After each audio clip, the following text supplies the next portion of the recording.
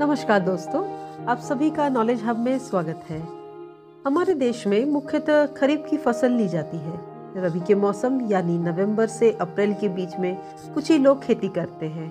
मध्य भारत की अधिकांश भूमि खाली रह जाती है। छोटे किसान तो निवेश के अभाव में ज़मीन को खाली ही छोड़ देते हैं। ऐसे में अगर आपके पास ज़मीन नहीं है और आप खेती करना चाहते हैं तो रबी के सीज़न में ऐसी खाली ज़मीन को किराए पर लेकर खेती कर सकते हैं। इससे छोटे किसानों को भी आमदनी हो सकती है। मैंने प्रयोग के तौर पर एक एकड़ ज़मीन किराए पर लेकर खेती की। आज उसी के बारे में विस्तार से चर्चा करेंगे। गेहूँ की खेती का पहला चरण होता है ज़मीन की तैयारी। नवंबर से दिसंबर के माह में गेहूँ की बुआई की जाती है।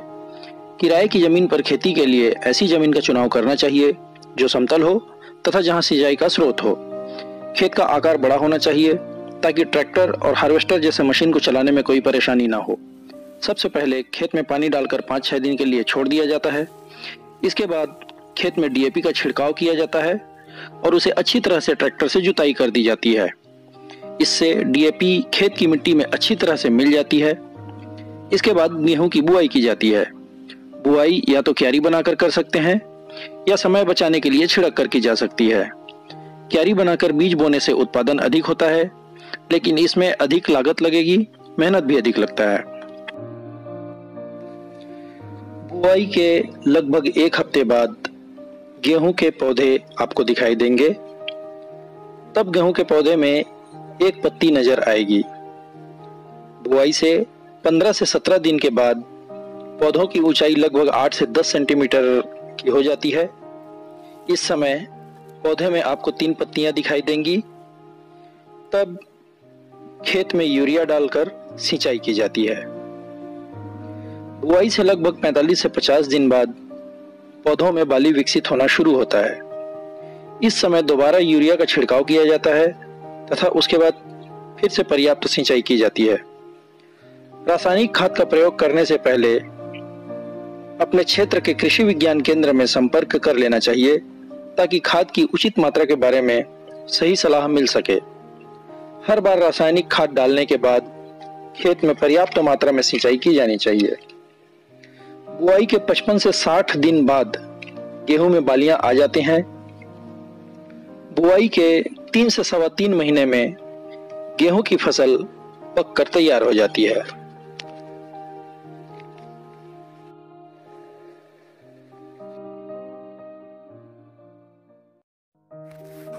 अब आखिरी पड़ाव होता है हार्वेस्टिंग, यानी फ़सल से अनाज प्राप्त करने का समय।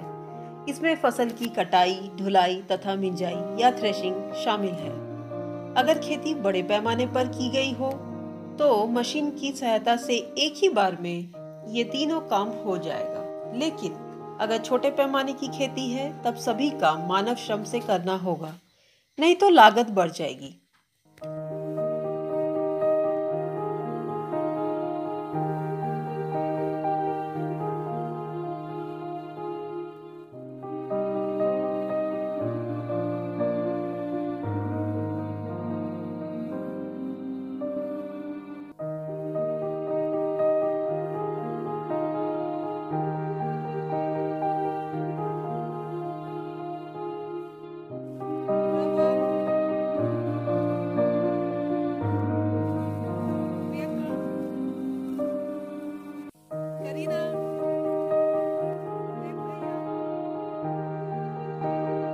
फ़सल कटाई का समय जैसे जैसे नज़दीक आता है, खेतों का विशेष ध्यान रखना होता है, ताकि आवारा मवेशी खेतों में ना घुसे।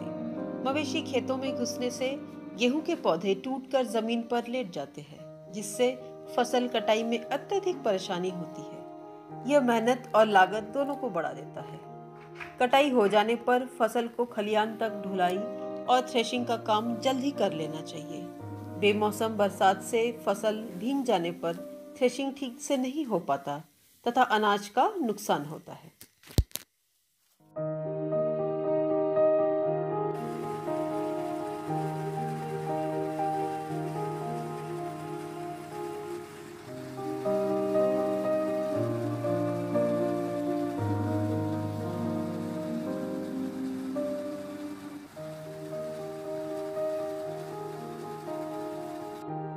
ये तो हो गई गेहूँ की खेती के सभी स्टेजेस के बारे में, जो मैंने खुद खेती करके जाना है।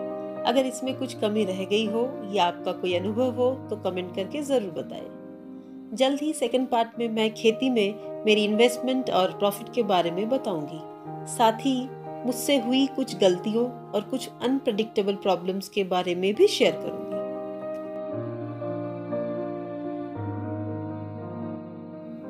अगर आपको ये वीडियो पसंद आया तो प्लीज़ लाइक और शेयर ज़रूर कीजिए और प्लीज़ चैनल को सब्सक्राइब कीजिए। Thanks for watching.